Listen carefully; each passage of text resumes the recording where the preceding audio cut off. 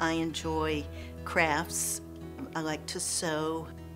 I like to, to paint. I've taken up abstract painting since I retired. I first started noticing when I was in high school that my hand shook when I was nervous or tired or had a lot of caffeine. Um, it didn't get significantly worse until I was in my mid 40s. And then I started really having trouble doing things like eating soup and putting on makeup and that sort of thing. Uh, I went to a neurologist then and tried several different uh, drugs and ended up with propranolol, which has worked pretty well uh, for the last 20 years. But recently, uh, the propranolol just isn't working as well. I have difficulty with things like uh, eating have a hard time putting things in and taking things out of the microwave. Anything that involves pouring, holding a glass, drinking, things like that. I have a hard time threading needle and I have a cut on my finger right now from on my left hand from a mishap with the scissors with my tremor hand.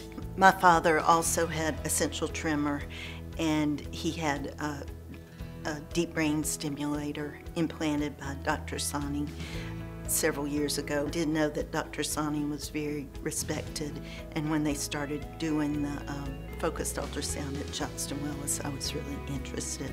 Everybody I've worked with at Johnston Willis has been extremely helpful, answer questions um, before I can even think to ask uh, and just, just really encouraging. Dr. Sahni has been fantastic to work with, and um, I look forward to seeing him bright and early Monday morning. The thing that would impact me the most is things to do with food, cooking and eating and measuring and pouring and that sort of thing. I'm looking forward to, with my abstract art and with the other crafts that I do, um, being able to just enjoy it and not experience the frustration of my hand not doing what I want it to. I'm excited to see uh, how my, my everyday life is going to change with this procedure. It's a real pleasure to be able to hold my hand up like this and have it be motionless.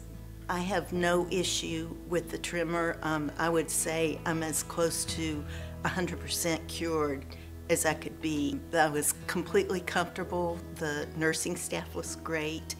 Um, they did everything they could to put me at ease and nothing hurt. Denise, the nurse navigator, did a great job with uh, keeping all the appointments that I needed to make in sequence and uh, making sure that all the details were taken care of ahead of time. I am saving some time by not having to clean up the messes that I make in the kitchen.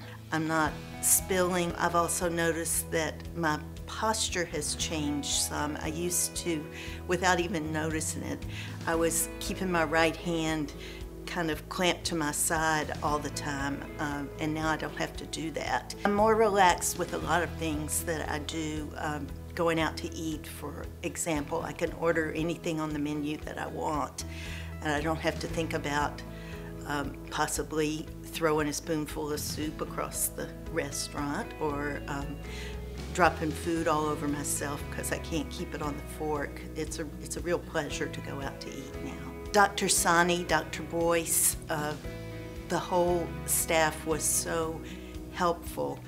Um, I got wonderful results as far as taking care of the, the tremor, but also um, I, they couldn't have been more helpful through the process uh, and being encouraging. I had dinner with my nephew last night and he has, uh, he's only about 35 and he has um, essential tremor and it, he's noticed that it's getting worse.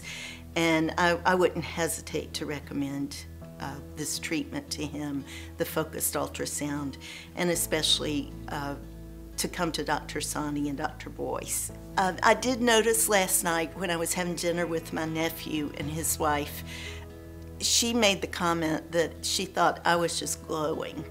And I'm not sure why exactly she said that, but I think that um, I do feel more confident, especially when I'm out in public and just the the idea that I can go out and do something as everyday as going out to eat without being self-conscious and thinking I'm going to spill something or knock something over is is just a big life-changing thing for me. If you have a tremor, there's no reason to wait. You don't have to live with the restrictions that tremor causes. You can do something about it now.